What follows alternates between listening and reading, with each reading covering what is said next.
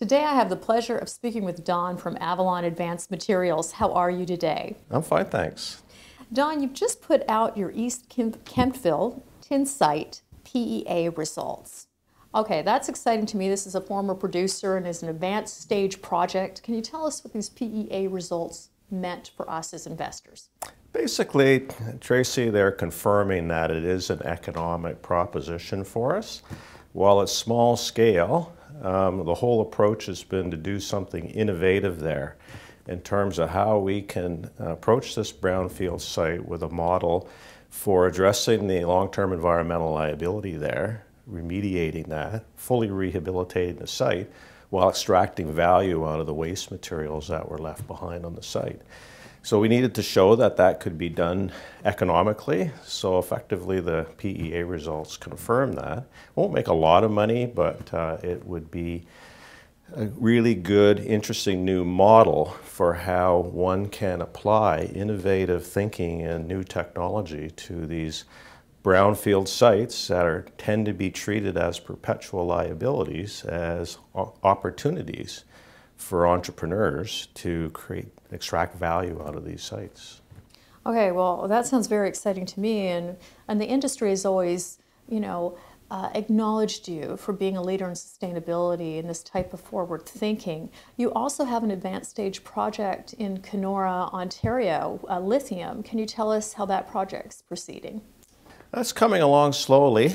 As you know, with the lithium business, it's all about finding where to position yourself uh, in the marketplace with the type of resource you have.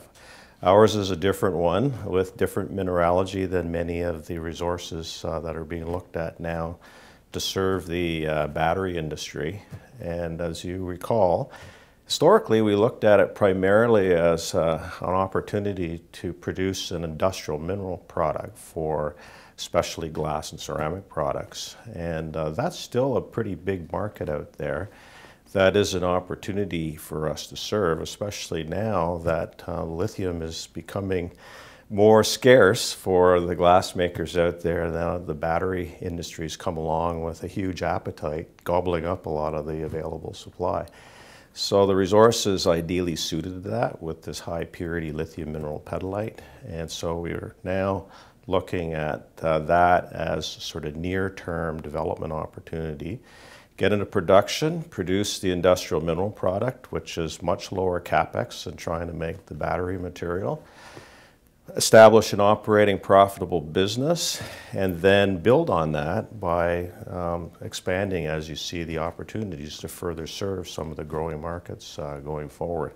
We think that's uh, a much more conservative and less risky way to get started in the lithium business and position yourself with a stage development model and uh, open to different possibilities on how to serve the markets. Well, speaking of serving the markets, uh, you're a, an esteemed colleague and respected uh, leader in the critical material and battery material sector, or the technology metals as we like to call them.